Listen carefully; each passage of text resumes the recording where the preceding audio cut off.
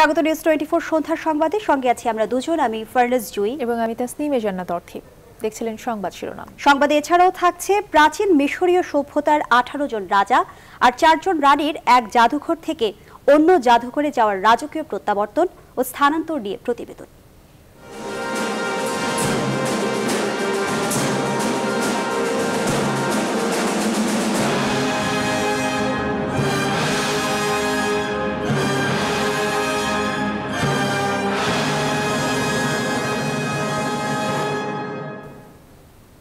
এবারে বিস্তারিত। কাল থেকে সারা দেশে শুরু হচ্ছে এক সপ্তাহের লকডাউন কিন্তু স্বাস্থ্যবিধি মানতে নয়, বরং মানুষের জন্য লকডাউন যেন এক ধরনের উৎসব। সরকার ঘোষিত লকডাউনের আগের দিন রাজধানীর লঞ্চ বাস টার্মিনালগুলোয় মানুষের উপচে পড়া ভিড়। স্বাস্থ্যবিধি মানার বালাই তো নেই, উল্টো জটলা পাকিয়ে টিকিট কিনতে দেখা যায় ঘরমুখ মানুষদের। নাইমাল চিকুর প্রতিবেদন। গাবতলী বাস টার্মিনালের দৃশ্য। উপচে পড়া মানুষের এই ভিড় প্রিয়জনদের সাথে ঈদ করতে নারীর টানে বাড়ি ফেরার নয়। লকডাউন ঘোষণায় ঘরমুখ মানুষের। একই অবস্থা রাজধানী মহাখালী সহ অন্য সব বাস টার্মিনালগুলোরও। সামাজিক দূরত্ব বজায় রাখা ও মাস্ক পরার কথা বারবার বলা হলেও এসবের তোয়াক্কাই করেন না যাত্রীরা। ঘরমুখে এসব মানুষকে দেখা যায় জটলা পাকিয়ে টিকিট কিনতে। টিকিট বিক্রেতারাও কম যান না। সবার সাথে তাল মিলিয়ে তারাও স্বাস্থ্যবিধি ভেঙে টিকিট বিক্রি করতে ব্যস্ত। বাসায় যাওয়ার কারণটা হচ্ছে আমি বাসায় গেলে সেফ থাকব আমার মনে হয়েছে। আব্বু যাইতে বলতেছে এর জন্য ওইখানে চলে যাচ্ছে। বিয়ে বাড়ি খেতে আসছিলাম তো দেখলাম যে লকডাউন শুনে এর জন্য চলে যাচ্ছে আমরা মাছটা তো আসার থেকে থোয়া আসছে আসার সময়। রয়েছে এখানে রয়েছে।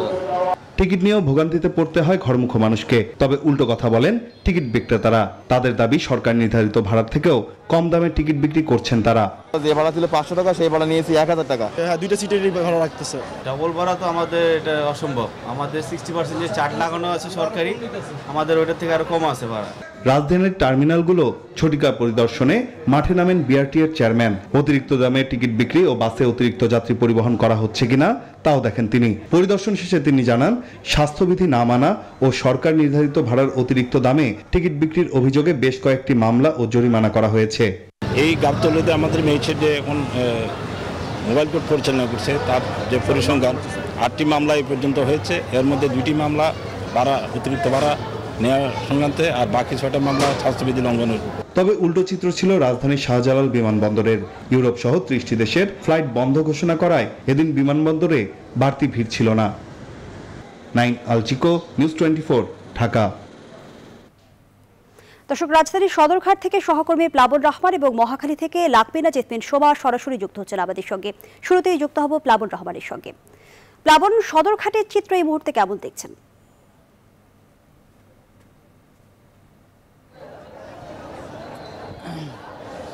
আসলে জুই প্রচণ্ড চাপ আসলে সাধারণ মানুষের ঘরমুখে মানুষের বলতে হবে। কারণ ঈদের আগের দিন আমরা এই ঘরমুখে মানুষ শব্দটি উচ্চারণ করি, এখন উচ্চারণ করতে হচ্ছে। কারণ করোনা পরিস্থিতিতে যে সাত দিনের লকডাউন সরকার দিয়েছে, সে কারণে মানুষ প্রিয়জনের কাছে ফিরছে।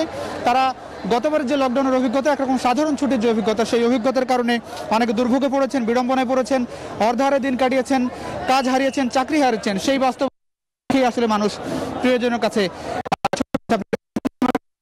মানুষ এখন এই সদরঘাট লঞ্চ টার্মিনালে দেশের বিভিন্ন কিন্তু গন্তব্যে যাওয়ার জন্য চলে এসেছেন।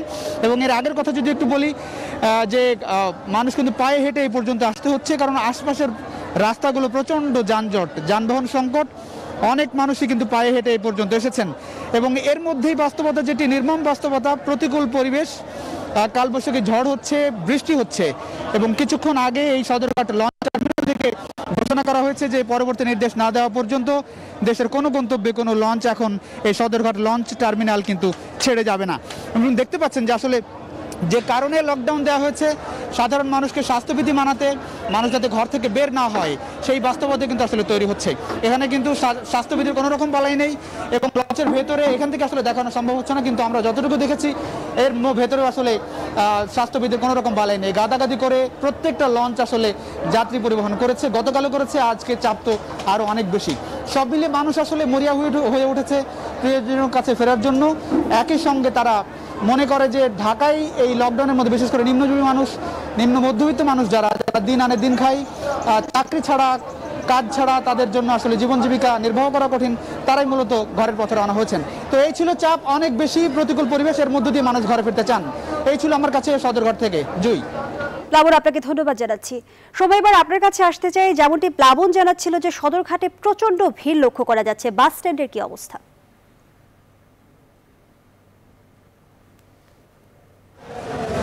জুই একই অবস্থা, বিশেষ করে যদি বলতে চাই কিছুক্ষণ আগে বৃষ্টি শুরু হওয়ার কারণে কিন্তু এখানে ভোগান্তি আরও কয়েক গুণ বেড়েছে। কারণ আমরা দেখছিলাম যে কিছুক্ষণ আগে পর্যন্ত কিন্তু এই আশপাশের রাস্তাগুলোতে প্রচুর পরিমাণে ভিড় ছিল। মানুষের যারা পায়ে হেঁটে শেষ পর্যন্ত এই বাস টার্মিনালে আসার চেষ্টা করছিলেন। তারা কিন্তু বৃষ্টিতে ভিজে গেছেন এবং কোনো রকম অনেকে বিভিন্ন জায়গায় কিছুটা আশ্রয় নেওয়ার চেষ্টা করছেন। এবং আপনাকে যেটি দেখাতে চাই, আমার পাশে দেখেন প্রচুর ভিড় আমরা লক্ষ্য করছি এবং এখানে কিন্তু যারা দাঁড়িয়ে আছে, সবার একটি প্রত্যাশা, তারা চাচ্ছেন যে করেই হোক, শেষ মুহূর্তে যাতে তারা টিকিট পাওয়ার চেষ্টা করছেন। আপনি জানেন যে মূলত এই মহাখালী বাস টার্মিনাল থেকে কিন্তু ময়মনসিংহ সহ এর আশপাশের অঞ্চলগুলোতে সাধারণত বাস যায় এবং এখান থেকে মানুষকে টিকিট নিতে হয়। সেক্ষেত্রে আমরা দেখেছি যে দূরপাল্লার বাসের ক্ষেত্রে অনেক সময় অনেকে আগে আগে থেকে টিকিট কেটে রেখেছিলেন, তারা অনেকটা পৌঁছাতে পারছেন। কিন্তু যেহেতু এটি ঢাকা থেকে ময়মনসিংহ এই দূরত্বে, সুতরাং তাদেরকে কিন্তু এখান থেকেই টিকিট নিতে হচ্ছে শেষ সময়ে এবং তারা চেষ্টা করছেন এই লকডাউনের আগে যেহেতু একটি অনিশ্চিত পরিস্থিতির মধ্য দিয়েই যাচ্ছে যেহেতু এক সপ্তাহ বা পরবর্তীতে আরও কি ধরনের সিদ্ধান্ত আসে সেটি নিয়ে তারা অনিশ্চয়তার মধ্যে রয়েছেন। সুতরাং চেষ্টা করছেন শেষ সময়ে টিকিট নিয়ে তারা ঘরে ফিরতে পারেন কিনা। দুই ধরনের মানুষই মূলত আসলে ঢাকা ছাড়ার চেষ্টা করছেন, যারা একেবারেই তাদের জীবন জীবিকার অনিশ্চয়তার মধ্যে পড়েছে তারা এবং অনেকে যারা এসেছিলেন কোনো জরুরি প্রয়োজনে রাজধানীতে তারা ফেরার জন্য চেষ্টা করছেন। তো এই মুহূর্তে যারা এই লাইনে দাঁড়িয়ে আছেন, দেখছেন যে স্বাস্থ্যবিধি মানার কিন্তু খুব একটা বালাই নাই। বিশেষ করে যদি বলেন সামাজিক দূরত্বের কথা, তাহলে একেবারেই নাই। তবে আমরা দেখছি যে কয়েকবার ভ্রাম্যমান আদালত পরিচালনা করার কারণে কিন্তু অনেকে মাস্ক পরছেন। তবে অতিরিক্ত ভিড়ের কারণে, অতিরিক্ত চাপের কারণে তারা কিন্তু তাদের মধ্যে যে সোশ্যাল ডিস্টেন্স মানার বিষয়টি, সেই সুযোগ কিন্তু নেই। এবং ভাড়ার যে বিষয়টি, সেটি একেবারেই প্রত্যেকের কাছ থেকে এরকম অভিযোগ রয়েছে। ষাট শতাংশ ভাড়া বাড়ানোর কথা বলা হলেও কিন্তু শেষ পর্যন্ত যে যেমনটি পারছে, বিশেষ করে এই শেষ মুহূর্তে তারা চেষ্টা করছেন যে কতখানি বেশি ভাড়া আদায় করতে পারেন। আর আজকে এই লাইনে যারা দাঁড়িয়ে আছেন, তাদের সাথে কথা বলেছি। বেশিরভাগই কিন্তু তিন থেকে চার ঘণ্টা, পাঁচ ঘণ্টা ধরে লাইনে দাঁড়িয়ে আছেন। তো সব মিলে তারা শেষ সময়ে চেষ্টা করছেন ঘরে ফেরায় এই ছিল আমার কাছ থেকে সর্বশেষ মহাখালী বাস টার্মিনাল থেকে। সোমা, আপনাকে ধন্যবাদ জানাচ্ছি। দর্শক, রাজধানীর সদরঘাট এবং মহাখালী বাস স্ট্যান্ডের খবরাখবর নিয়ে যুক্ত ছিলেন আমাদের সহকর্মীরা। করোনা সংক্রমণ বিস্তার রোধে সোমবার সকাল ছয়টা থেকে পরবর্তী সাত দিনের জন্য শর্ত সাপেক্ষে সার্বিক কার্যাবলী এবং চলাচলে নিষেধাজ্ঞা আরোপ করেছে সরকার। রোববারের সংক্রান্ত প্রজ্ঞাপন জারি করে মন্ত্রী পরিষদ বিভাগ। কি আছে সে নির্দেশনায়? জানাচ্ছেন সজল দাস। হু হু করে বাড়ছে করোনা সংক্রমণ। এই পরিস্থিতিতে কদিন ধরেই জরুরি পদক্ষেপের কথা বলছিল কোভিড নাইন্টিন বিষয়ক জাতীয় পরামর্শক কমিটি। পরিস্থিতি বিবেচনায় চূড়ান্ত সিদ্ধান্ত নিয়েছে সরকার। সোমবার সকাল ছটা থেকে পরবর্তী সাত দিনের জন্য চলাচল ও কাজে নানা নির্দেশনা দিয়ে প্রজ্ঞাপন জারি করেছে মন্ত্রিপরিষদ বিভাগ। প্রজ্ঞাপনে বলা হয়েছে, এই সময়ের মধ্যে সব ধরনের গণপরিবহন বন্ধ থাকবে। তবে এই নিষেধাজ্ঞা প্রযোজ্য হবে না। উৎপাদন ও সেবায় নিয়োজিত গণপরিবহনের ক্ষেত্রে। কাজ করবেন আইন শৃঙ্খলা রক্ষা ও জরুরি সেবা কাজে নিয়োজিত ব্যক্তিরা। শুধু জরুরি কাজ করবে সব সরকারি, আধা সরকারি, স্বায়ত্তশাসিত অফিস, আদালত ও বেসরকারি অফিস। এক্ষেত্রে ব্যবহার করতে হবে নিজস্ব পরিবহন। চলবে শিল্প কারখানা ও নির্মাণ কাজ। কর্মীদের নিজস্ব ব্যবস্থাপনায় আনা নেওয়া করবে সংশ্লিষ্ট প্রতিষ্ঠান। সন্ধ্যা ছটা থেকে সকাল ছটা পর্যন্ত অতি জরুরি কাজ ছাড়া কোনোভাবেই বাড়ির বাইরে যাওয়া যাবে না। খোলা থাকবে রেস্তোরাঁ, কিন্তু খেতে হবে বাসায় নিয়ে। বন্ধ থাকবে শপিং মল, তবে কেনাকাটা করা যাবে অনলাইনে। সকাল আটটা থেকে বিকেল চারটা পর্যন্ত খোলা থাকবে কাঁচা বাজার। আদেশ অমান্যকারীদের বিরুদ্ধে কঠোর ব্যবস্থা নেওয়ার কথাও বলা হয়েছে প্রজ্ঞাপনে। প্রজ্ঞাপন জারির আগে লকডাউনের নির্দেশনা তুলে ধরেন সড়ক পরিবহন ও সেতুমন্ত্রী ওবায়দুল কাদেরও। মাছটা যেভাবে পড়া, সেভাবে পড়ে না। এ অবস্থা ঢাকা শহরে নিত্যদিনের চিত্র।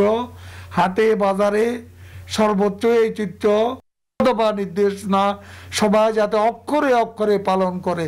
তা না হলে লকডাউন দিয়ে কোনো লাভ নাই। লকডাউনের সময় স্বাস্থ্যবিধি মেনে প্রতিদিন সকাল দশটা থেকে সাড়ে বারোটা পর্যন্ত সব ব্যাংকিং কার্যক্রম চালু রাখার নির্দেশনা দিয়েছে Bangladesh bank. Sajal Das news twenty Dhaka. আইসিইউতে জায়গা নেই। একই রকম রোগী ভর্তি সাধারণ ওয়ার্ডেও। শেষ মুহূর্তে যারা হাসপাতালে আসছেন তাদের কেউ কেউ ফিরছেন লাশ হয়ে। এ অবস্থায় আজও দেশে করোনায় সর্বোচ্চ সাত হাজারের বেশি আক্রান্তের রেকর্ড। আরও প্রাণহানি হয়েছে তেতাল্লিশ জনের। বিশেষজ্ঞরা বলছেন এভাবে প্রতিদিন আক্রান্তের সংখ্যা বাড়তে থাকলে ভেঙে পড়বে স্বাস্থ্য সেবা কার্যক্রম। রিশাদ হাসান জানাচ্ছেন বিস্তারিত। ঢাকা মেডিকেল কলেজ হাসপাতালের কোভিড ইউনিট। গেল প্রায় পাঁচ দিন ধরে এই হাসপাতালে কোনো শয্যা ফাঁকা নেই। আইসিইউ এর খোঁজে যারা আসছেন, তাদের থাকতে হচ্ছে অপেক্ষায়। নতুন কোনো সুস্থতা বা মৃত্যুই আইসিইউ এর দীর্ঘ লাইন কমাতে পারছে। এমন বাস্তবতায় দেশের করোনা আক্রান্তের সংখ্যা চব্বিশ ঘন্টায় সাত হাজার সাতাশি জন, যা একদিনে সর্বোচ্চ আক্রান্ত। মৃত্যু হয়েছে তিপ্পান্ন জনের, সংক্রমণের হার এখন শতকরা তেইশ শতাংশের বেশি। জনস্বাস্থ্য বিশেষজ্ঞরা বলছেন দেশে করোনা সংক্রমণের গ্রাফ যে হারে লাফিয়ে লাফিয়ে বাড়ছে, তাতে হাসপাতালগুলো চিকিৎসা দেওয়ার সামর্থ্য হারিয়ে ফেলেছে। রোগীর সংখ্যা বাড়ছে। ইতিমধ্যেই হাসপাতালগুলো তাদের সামর্থ্যের শেষ সীমা অতিক্রম করেছে। সরকারি হাসপাতালের সাথে বেসরকারি হাসপাতালগুলোতে শয্যা সংখ্যা বাড়ানোর কাজ চলছে তবে অক্সিজেন হাইফ্লো ন্যাজেল ক্যানুলা সহ প্রয়োজনীয় যন্ত্রপাতি চাইলেই তো রাতারাতি জোগাড় করা সম্ভব না। কোভিড উনিশ জাতীয় কমিটির এই সদস্য বলছেন শুধু হাসপাতালে শয্যা সংখ্যা বৃদ্ধি এই সমস্যার সমাধান নয় প্রয়োজন আঠারো দফা নির্দেশনার বাস্তবায়ন। সরকারের হাসপাতালের শয্যা সংখ্যা বৃদ্ধি করলেই এই সংক্রমণ ঠেকানো সম্ভব না। এর জন্য আঠারো দফা নির্দেশনা মানাতে বাধ্য করতে হবে জনগণকেও সেই নির্দেশনা মানতে হবে। তারা বলছেন কোভিড উনিশ প্রতিরোধে দরকার দেশের মানুষের ঐক্যবদ্ধ প্রচেষ্টা। ঢাকা শহরের কোভিড ডেডিকেটেড হাসপাতালগুলোর আইসিইউ প্রায় রোগীতে পরিপূর্ণ। সেই সাথে শয্যা সংখ্যাও নেই বললেই চলে। স্বাস্থ্যসেবা বিভাগ বলছে এভাবেই যদি প্রতিদিন রোগীর চাপ বাড়তে থাকে তবে একটা সময় হাসপাতালগুলোর পক্ষে স্বাস্থ্যসেবা নিশ্চিত করা প্রায় অসম্ভব হয়ে পড়বে।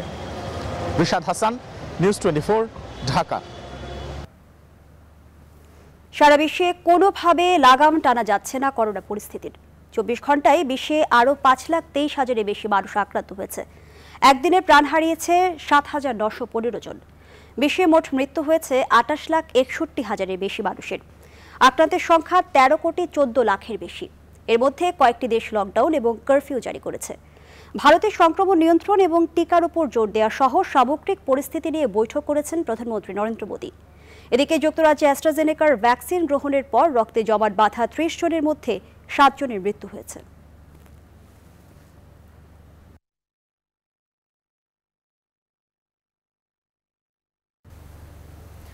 প্রধানমন্ত্রী শেখ হাসিনা বলেছেন, হেফাজতে ইসলাম আগুন নিয়ে খেলছে। জনগণ তা সহ্য করবে না। জাতীয় সংসদের দ্বাদশ অধিবেশনের সমাপনী বক্তব্যে সরকার প্রধান এ কথা বলেন। হেফাজত নেতা মামুনুল হকের কথা উল্লেখ করে তিনি বলেন, মুখে ধর্মের পবিত্র কথা বলে যারা অপবিত্র কাজে ধরা পড়েন, তার ইসলামের নামে কলঙ্ক। করোনা নিয়ন্ত্রণে নির্দেশনা সবাইকে কঠোরভাবে পালনের আহ্বান জানান প্রধানমন্ত্রী। শালি জয় রিপোর্ট। একাদশ সংসদের দ্বাদশ অধিবেশন সমাপনী বক্তব্যে সংসদ নেতা প্রধানমন্ত্রী শেখ হাসিনা বাংলাদেশের স্বাধীনতার সুবর্ণ জয়ন্তী এবং জাতির জনকের জন্মশতবার্ষিকীর অনুষ্ঠানের সময় হেফাজতে ইসলামের ধ্বংসাত্মক কর্মকাণ্ডের তীব্র সমালোচনা করেন। সংসদে তুলে ধরা হয় তাণ্ডবের কিছু স্থির চিত্র। প্রধানমন্ত্রী বলেন জামাত বিএনপির সহযোগিতায় এসব জ্বালাও পোড়াও চালানো হয়েছে। আমি তাদের জিজ্ঞাসা করি আগুন নিয়ে খেলছে তারা। এক ঘরে আগুন লাগলে তো সেই আগুন অন্য ঘরেও চলে যেতে পারে। সেটা কি তাদের হিসাবে নেই?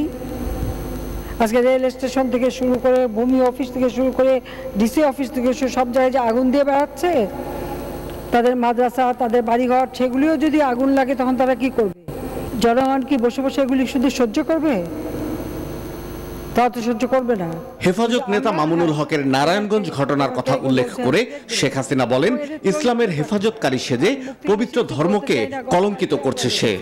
এরা একদিকে ইসলামের নাম ধর্মের নাম এত কিছু পবিত্রতার নাম এত কিছু বলে যত অপবিত্র কাজ করে আজকে ধরা পড়ে সোনার গায়ে একটা রিসোর্টে হেফাজতে জয়েন্ট ফিল্ডে সেটা ঢাকার জন্য নানা রকমের চেষ্টা। পার্লারে কাজ করে এক মহিলা।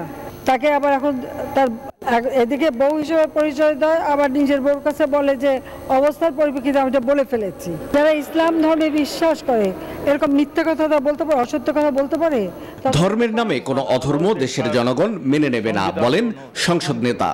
কিছু লোকের জন্য আজকে এই ধর্মটা জঙ্গির নাম সন্ত্রাসের নাম আর এখন তো যে চরিত্র দেখাল দুশ্চরিত্রের নাম, সব নাম জুড়ে দিচ্ছে। পবিত্র ধর্মকে এরা কলুষিত করে দিচ্ছে। এরা ধর্মের নামে ব্যবসা শুরু করেছে। এবং এত অর্থ কোথার থেকে আসে এই বিনোদনের সেটাও একটা প্রশ্ন। কাজে এটা দেশবাসী বিচার করবে। আর আইন তার আপন গতিতে চলবে। সেটুকু আমি বলতে চাই। দেশে করোনা সংক্রমণ বেড়ে যাওয়ায় সোমবার থেকে লকডাউনের সিদ্ধান্ত নেওয়া হয়েছে। উল্লেখ করে সরকার প্রধান বলেন করোনা মোকাবেলায় সবাইকে লকডাউন মানতে হবে। করোনার প্রাদুর্ভাব এমনভাবে শাহ আলী জয় নিউজ টোয়েন্টি ঢাকা। বিশেষ করে জনসমাগম।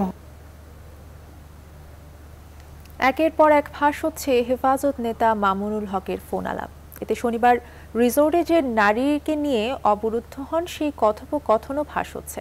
রোববার প্রতিবাদ সমাবেশ ডাকে তার দল। রাজধানীর ডিআরইউতে সমাবেশের ঘোষণা দিয়েও সেখানে আসেনি মামুনুল। সংসদে স্বরাষ্ট্রমন্ত্রী জানিয়েছেন, মামুনুল হকের ঘটনা তদন্ত হচ্ছে। বিস্তারিত মাসুদ আলাবনী রিপোর্টে। তোমার নাম কইছো আমিনা তৈবা বাপের নাম কইছো জাহিদুল ইসলাম। তুমি কইছো জান্নাতারা, আবার কইছো অলিউর রহমান। তো এই গড় মিলে স্থিত।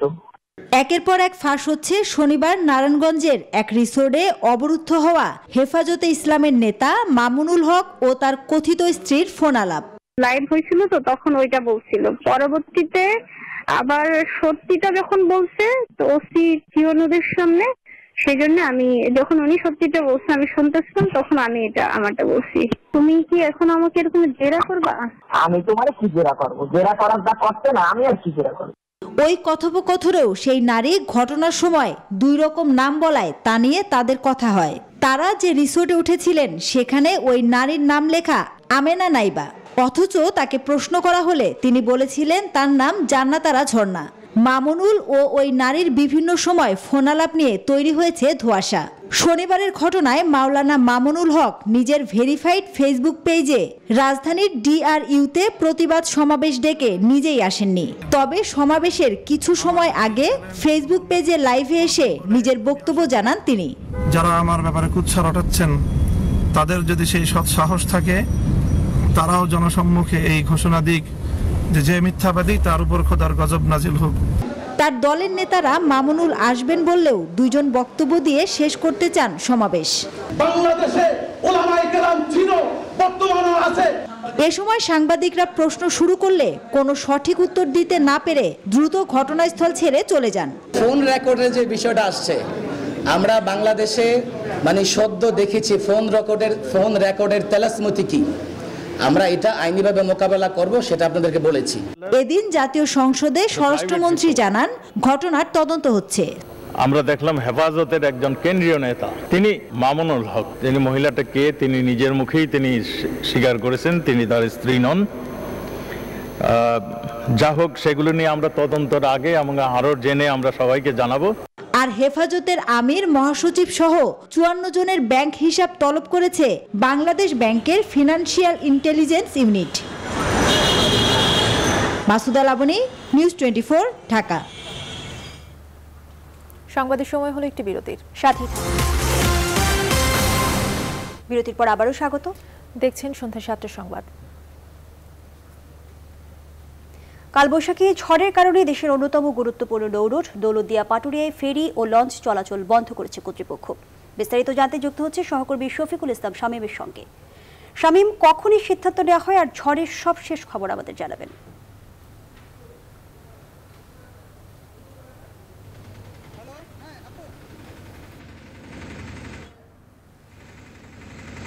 ধন্যবাদ।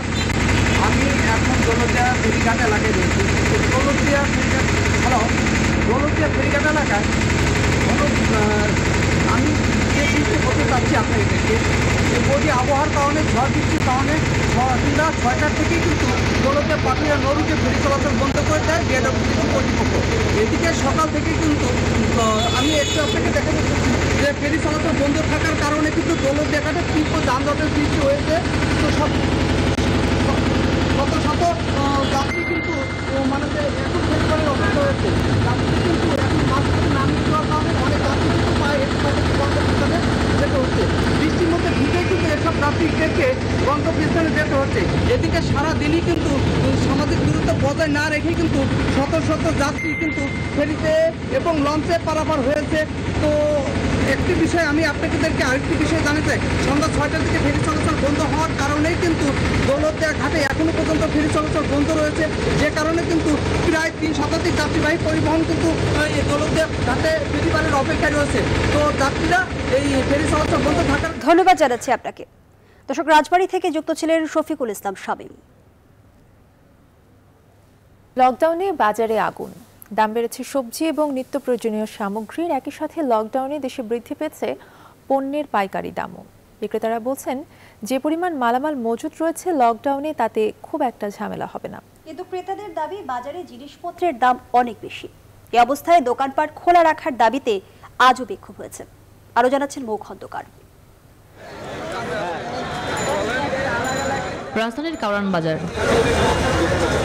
হঠাৎ লকডাউনের খবরে অনেকটা হন্য হয়েই ক্রেতারা এসেছেন কারওয়ান বাজারে। শুধু এখানেই নয়, মহানগরে সম্ভাব্য গৃহবন্দী হয়ে থাকার আগে সবাই ছুটছেন পাশের বাজারে, সেখানে যেন হাত ঠেকানো দায় হয়েছে মধ্যবিত্তের। এদিন নিত্য প্রয়োজনীয় পণ্যের দোকানে ছিল মানুষের উপচে পড়া ভিড়। বাড়তি খাবার মজুদের তাগিদে প্রয়োজনের অতিরিক্ত পণ্য কিনতে দেখা যায় মানুষকে। বিক্রেতারা বলছেন, প্রয়োজনের অতিরিক্ত মালামাল কেনার কারণে বাজারে আবারও নিত্য পণ্যের সংকট বাড়ছে। সব কিছু দাম বেশি বর্তমানে। মরিচ আসছিল পনেরো টাকা কেজি আজকে মরিচ পাইকারি দুইশো টাকা পাল্লা চল্লিশ টাকা কেজি। দ্রব্যগুলোর দাম বেশি এখন টমেটো কাল ছিল বিশ টাকা কেজি আজকে চল্লিশ টাকা কেজি। পড়ি নাই আমরা তো এমনি আমরা দূরত্ব আছি এমনিতে আমরা পড়ি। যদি নিচে যাই বা কোনো জায়গায় যাই তাহলে আমরা অবশ্যই পড়ি। ক্রেতারা বলছেন মার্চের শুরুর দিকে পেঁয়াজ ও টমেটোর দাম কিছুটা আয়ত্তের মধ্যে আসলেও লকডাউনের পর থেকেই পাল্লা এসব পণ্যের দাম বেড়েছে। জিনিসপত্রের দাম ঊর্ধ্বগতিতে। আমাদের যারা নিম্ন মধ্যবিত্ত মধ্যবিত্ত ফ্যামিলিতে আছি আমাদের সত্যি না বিশ্বাস। এটা অবশ্যই বাজার মনিটরিং ব্যবস্থাটা যথাযথ কর্তৃপক্ষের দেখা উচিত। যার যার দায়িত্ব তার তার নেওয়া উচিত। চট্টগ্রামেও বাজারের দাম ঊর্ধ্বমুখী যেখানে স্বাস্থ্যবিধির কোনো বালাই নেই। বিকেলে সরকার ঘোষিত লকডাউন প্রত্যাহারের দাবিতে মানববন্ধন করে নিউ মার্কেট দোকান মালিক সমিতি। পরে মানববন্ধনের রূপ নেয় আন্দোলন। এক পর্যায়ে রাস্তায় থাকা বাস, প্রাইভেট কার, লেগুনা সহ প্রায় দশটি গাড়ি ভাঙেন তারা। Mou Khondokar news twenty Dhaka. মহামারীর মাঝে মানুষের জীবন রক্ষায় স্বাস্থ্য ও অর্থনীতি দুটোই সমানভাবে গুরুত্ব দেওয়ার তাগিদ দিয়েছেন অর্থনীতি বিশ্লেষকরা। বলছেন, খাদ্য নিরাপত্তা নিশ্চিত করতে দিনমজুর ও নিম্ন আয়ের মানুষের জন্য নিতে হবে বিশেষ সুরক্ষা কর্মসূচি। পাশাপাশি বাড়াতে হবে অনলাইন নির্ভরতাও। বিস্তারিত জানাচ্ছেন বাবু কামরুজ্জামান। মহামারীর সাথে জীবন ও জীবিকার লড়াই। গেল প্রায় তেরো মাস ধরে চলায় যুদ্ধে সবচেয়ে বড় সংকটের মুখোমুখি হয়েছেন খেটে খাওয়া নিম্ন আয়ের মানুষ। এছাড়া অপ্রাতিষ্ঠানিক খাতে নিয়োজিত শ্রমজীবীদের অনেকেই কাজও হারিয়েছেন। তেরো মাসে অর্থনীতির স্বাস্থ্য কতটা ভঙ্গুর বা ক্ষতি হয়েছে, সুনির্দিষ্ট হিসাব না থাকলেও গেল বছরে চলা লকডাউনে ঢাকা বিশ্ববিদ্যালয়ের স্বাস্থ্য অর্থনীতি ইনস্টিটিউটের সমীক্ষায় উঠে আসে, লকডাউনে দৈনিক ক্ষতির পরিমাণ অন্তত তিন হাজার তিনশো কোটি টাকা। জীবন ও জীবিকার দ্বন্দ্বের লড়াইয়ে টিকে থাকতে স্বাস্থ্যবিধি ও সতর্ক থাকার কোনো বিকল্প নেই। এজন্য স্বাস্থ্যবিধি মেনে সতর্কভাবে অর্থনীতিকে সচল রাখা গেলে ক্ষতির পরিমাণ কমে আসবে বলে মনে করেন অর্থনীতি বিশ্লেষকরা। জীবন এবং জীবিকার জন্য প্রতিদিনই বাইরে আসতে হচ্ছে এবং সব ধরনের কাজে লিপ্ত থাকতে হচ্ছে। সামাজিক নিয়ম নীতি না মেনে চলার একটা প্রবণতা ভয়ানকভাবে বিরাজমান এবং একই সাথে আইনের প্রয়োগ নিয়েও একটা একটা দ্বিধা আছে। যারা দিন মজুর খেটে খাওয়া মানুষ দিন এনে দিন খান তাদের জন্য প্রয়োজনে যাতে খাদ্য সহায়তা দেওয়া যায় সেই প্রস্তুতিটা রাখতে হবে। লকডাউনে অর্থনীতির গতি ধরে রাখতে নিজস্ব ব্যবস্থাপনায় চালু থাকছে শিল্প কারখানার চাকা। তৈরি পোশাক সহ অন্যান্য শিল্প কারখানা চালু রাখার ক্ষেত্রে সর্বোচ্চ সতর্কতা মেনেই চালু রাখার কথা বলছেন উদ্যোক্তা ও ব্যবসায়ীরা। কোভিডকে আমাদের জীবনের একটা অংশ হিসেবে ধরে নিয়েই আমরা গত বছর যেভাবে এগিয়ে গিয়েছি। শিল্প কারখানা যেভাবে চলমান রেখেছি এই বছর আমরা সেভাবে ইনশাল্লাহ এগিয়ে যাব। আমরা যদি নীতিমালাগুলো না পালন করি সংক্রমণ যদি বেড়ে যায় খুব বাজে একটা প্রভাব ফেলবে আমার অর্থনীতির মধ্যে। এক্সপোর্ট সেক্টর এফেক্টেড হলে যেটা হবে যে আমরা ঠিক করে ডেলিভারি দিতে পারব না। সরবরাহ ব্যবস্থা স্বাভাবিক রাখার পাশাপাশি নিম্ন আয়ের মানুষের জন্য বিশেষ সামাজিক কর্মসূচি এবং অর্থনীতি সচল রাখতে অনলাইন প্ল্যাটফর্মকে আরও জোরদার করার তাগিদ দিয়েছেন অর্থনীতি বিশ্লেষকরা। Babu Kamruzzaman news twenty Dhaka. Dhaka চোদ্দ আসনের সংসদ সদস্য আসলামুল হকার নেই। রোববার রাজধানীর এক হাসপাতালে চিকিৎসাধীন অবস্থায় মৃত্যুবরণ করেন তিনি। ইনালিল্লাহি ওয়া ইনাইলেহি রাজিউন।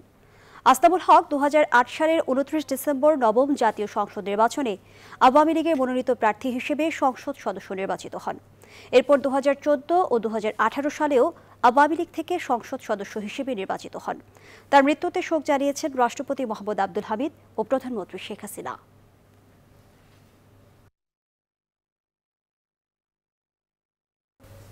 সময় হলো আরও একটি বিরতি। সাথে বিরতির পর আবারও স্বাগত। দেখছেন নিউজ টোয়েন্টি ফোর সন্ধ্যা সাতটার সংবাদ। দর্শক, নারায়ণগঞ্জের শীতলক্ষা নদীর কয়লাঘাট এলাকায় একটি লঞ্চ ডুবে গেছে। এ ব্যাপারে আরও তথ্য জানাতে টেলিফোনে আমাদের সঙ্গে যুক্ত হচ্ছেন সহকর্মী দিলীপ কুমার মণ্ডল। দিলীপ, লঞ্চ ডুবির ব্যাপারে বিস্তারিত জানতে চাই আর উদ্ধার কাজের সবশেষ কি খবর রয়েছে আপনার কাছে? ধন্যবাদ জুই। আমি যেই মুহূর্তে আপনার সাথে কথা বলছি, সেই মুহূর্তে নারায়ণগঞ্জ ও আশপাশ এলাকায় প্রচণ্ড ঝড়োহার সাথে বৃষ্টিপাত হচ্ছে। কিছুক্ষণ সন্ধ্যা ছয়, সাড়ে ছয়টার দিকে নারায়ণগঞ্জ থেকে মুন্সিগঞ্জ গামী একটি লঞ্চ, যার নাম হচ্ছে হাবিব এমবি হাবিব আল হাসান। সেই লঞ্চটি যাচ্ছিল অর্ধ শতাধিক যাত্রী নিয়ে গন্তব্যে মুন্সিগঞ্জের দিকে। তো নারায়ণগঞ্জের সৈয়দপুর এলাকার কয়লাঘাট এলাকায়, যেখানে শীতলক্ষা সেতুটি নির্মিত হচ্ছে, সেই এলাকায় পৌঁছার পর পরে একটি কোস্টার তাকে পিছন থেকে ধাক্কা মারলে লঞ্চটি তৎক্ষণাৎ ডুবে যায়। সেই মুহূর্তে আমাকে বন্দর থানার ওসি যেহেতু নদীটি বন্দর থানার অন্তর্গত, সেই নদীর বন্দরের থানার ওসি জনাব দীপক চন্দ্র সাহা আমাকে জানিয়েছেন যে সাড়ে ছয়টার দিকে ডুবে যাওয়া লঞ্চটিতে প্রায় অর্ধ শতাধিক যাত্রী ছিল। সেখানে প্রায় বিশ, পঁচিশ জন যাত্রী সাতটি তীরে উঠলেও বাকি যাত্রীরা এখনও তীরে উঠতে পারেনি কিংবা নিখোঁজ রয়েছেন। তো নৌ পুলিশ কর্মকর্তা আমাকে জানিয়েছেন নারায়ণগঞ্জের ঘটনাস্থলে তারা রওনা দিয়েছেন এবং উদ্ধার কাজে তারা তৎপরতা চালাচ্ছেন, কিন্তু ঝড়ো হাওয়া এবং বৃষ্টিপাতের কারণে তারা উদ্ধার কর্ম কিছুটা হলে বিঘ্নিত হচ্ছে। আমি বিআইডব্লিউটি এর কর্মকর্তা, নৌবন্দরের পরিদর্শক বাবুলাল বৌদ্ধের সাথে কথা বলেছি। তিনি জানিয়েছেন, ঘটনা শুনে বিআইডব্লিউটির চেয়ারম্যান মহোদয় ঘটনাস্থলে রওনা দিয়েছেন এবং নারায়ণগঞ্জের পাঁচ নম্বর ঘাটে সেখানে নোংর করা, প্রত্যয় জাহাজটি কিছুক্ষণের মধ্যেই লঞ্চটিকে উদ্ধার করার জন্য সেখানে গন্তব্য পৌঁছবেন। আমরা যতটুকু জানতে পেরেছি যে এই মুহূর্তে অনেকেই স্বজনরা তীরে, খবর পেয়ে তীরে এসে আহাজারি করছেন, যারা এখনও স্কুলে উঠতে পারেনি, তাদের জন্য প্রতীক্ষায় আছেন। সর্বশেষ এই এই ছিল আমার কাছে সর্বশেষ লঞ্চ ডুবির ঘটনা। জুই। দিলীপ, আপনাকে ধন্যবাদ জানাচ্ছি। দর্শক নারায়ণগঞ্জের শীতলক্ষা নদীর কয়লাঘাট এলাকায় একটি লঞ্চ ডুবে গেছে। সে বিষয়ে বিস্তারিত তথ্য দিয়ে জানাচ্ছিলেন সহকর্মী দিলীপ কুমার মণ্ডল। কালবৈশাখী ঝড়ে গাইবান্ধায় নারীসহ চারজন মারা গেছেন। রোববার দুপুরে গাইবান্ধা সহ উত্তরাঞ্চলের বিভিন্ন জেলার ওপর দিয়ে এই ঝড় বয়ে যায়। এর মধ্যে গাইবান্ধায় ঝড়ের ব্যাপক গতি ছিল বলে জানিয়েছেন স্থানীয়রা। ঝড়ে গাছ চাপা পড়ে জেলার পলাশবাড়ী উপজেলায় জাহানারা বেগম নামে এক গৃহবধূ এবং গোফার রহমান নামে এক ব্যক্তির মৃত্যু হয়। এছাড়া সুন্দরগঞ্জ ও ফুলছড়িতে আরও দুজন মারা যান একই সময়। অন্যান্য উপজেলায়ও ব্যাপক ক্ষয়ক্ষতি হয়েছে। তীব্র বাতাসে কাঁচা পাকা ঘর ভেঙে গেছে। আমের মুকুল, লিচু ও আমন ধান ক্ষতিগ্রস্ত হয়েছে। কোথাও কোথাও গাছ ভেঙে সড়কের ওপরে পড়ায় যোগাযোগ বন্ধ হওয়ার খবরও পাওয়া গেছে। এদিকে রাজশাহীতে দুপুরে ঝড়ের কারণে বিপাকে পড়েন পথচারীরা। আবহাওয়ার পূর্বাভাসে বলা হয়েছে, রোববার রংপুর, রাজশাহী, ঢাকা, খুলনা ও বরিশাল বিভাগের দু এক জায়গায় বজ্রসহ বৃষ্টি এবং ঝোড়ো বাতাসের সম্ভাবনা রয়েছে।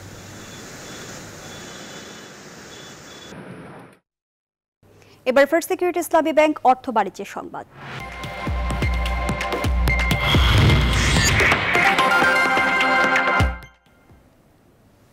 শান্তিপূর্ণ পরিবেশে অনুষ্ঠিত হলো তৈরি পোশাক মালিকদের বৃহৎ সংগঠন বিজিএমের নির্বাচন। এখন চলছে ভোট গণনার সবশেষ খবর জানাতে রাজধানীর হোটেল রেডিসন ব্লু থেকে যুক্ত হচ্ছেন সহকর্মী বাবু কাবরুজ্জামান বাবু নির্বাচনের সবশেষ কি খবর রয়েছে আপনার কাছে?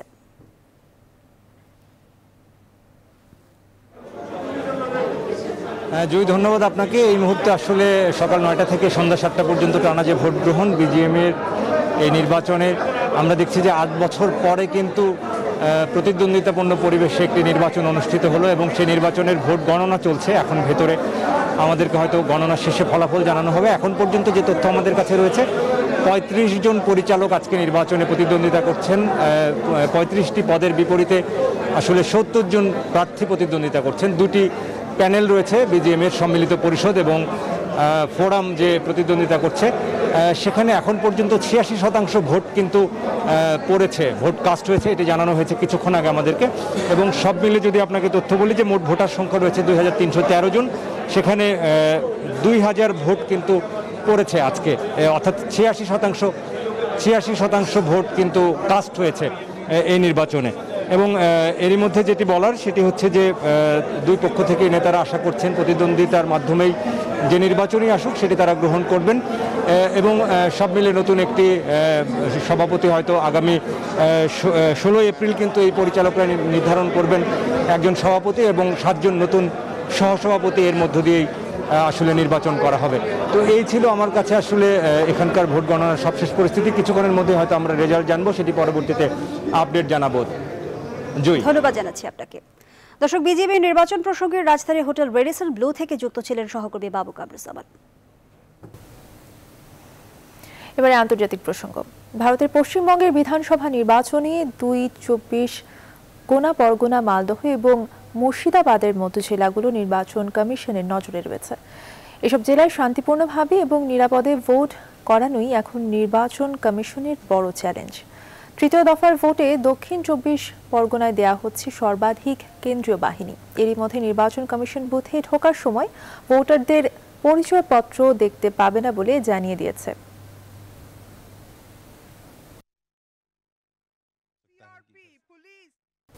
সংবাদের এই পর্যায়ে নিচ্ছে আরও একটা বিরতি। সঙ্গেই থাকুন।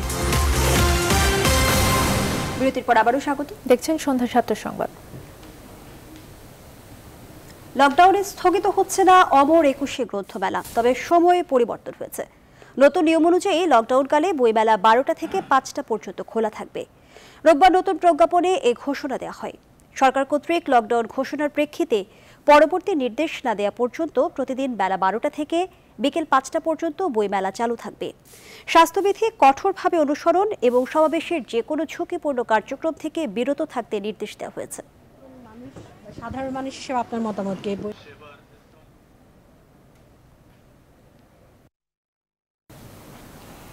করোনা পরিস্থিতি মোকাবেলায় সারা দেশে নতুন করে লকডাউনের সিদ্ধান্ত নিয়েছে সরকার, তবে এর মাঝেই সফলভাবে বঙ্গবন্ধু বাংলাদেশ গেমস শেষ করার প্রত্যয় ব্যক্ত করেছেন বাংলাদেশ অলিম্পিক অ্যাসোসিয়েশনের মহাসচিব সৈয়দ শাহেদ রেজা। এ বিষয়ে সরকারের সঙ্গে আলোচনা হয়েছে, জানিয়ে তিনি বলেন, স্বাস্থ্যবিধি মেনেই চলছে সবগুলো ডিসিপ্লিন কন্টিনিউ করবে এবং যেগুলো ইভেন্টস আছে আমরা চেষ্টা করতেছি ঠিকভাবে স্বাস্থ্যবিধি রেখে মেনে আমরা গেমস শেষ করব ইনশাল্লাহ। সরকার ডেফিনেটলি জানেন এই ব্যাপারটা এবং এই ব্যাপারে আমরা ইতিবাচক উত্তরই পাবো ইনশাল্লাহ। সবার সাথেই কথা হয়েছে এবং সবাই আশ্বাস দিয়েছে যে গেমসটা ঠিকভাবে হবে। কিন্তু গেমস আমরা নয় তারিখের ভিতরে সমস্ত গেমস শেষ করে দেবো নিউজিল্যান্ড সফর শেষে আজ সকালে দেশে ফিরেছে বাংলাদেশ জাতীয় ক্রিকেট দল। সকাল এগারোটায় সিঙ্গাপুর এয়ারলাইন্সের একটি ফ্লাইটে ঢাকায় পা রাখেন মুশফিক মাহমুদুল্লাহরা। গণমাধ্যমের মুখোমুখি হয়ে ক্রিকেটার নাসুম আহমেদ জানান, নিজেদের পারফরমেন্সই ব্যর্থতার মূল কারণ। সাথে উইকেট আর কন্ডিশনের ভিন্নতা তো আছেই। নিউজিল্যান্ডে ভরাডুবির পর বাংলাদেশের সামনে এখন শ্রীলঙ্কা। দুই টেস্ট খেলতে চলতি মাসের বারো তারিখ দেশটিতে উড়াল দেবার কথা আছে টাইগারদের।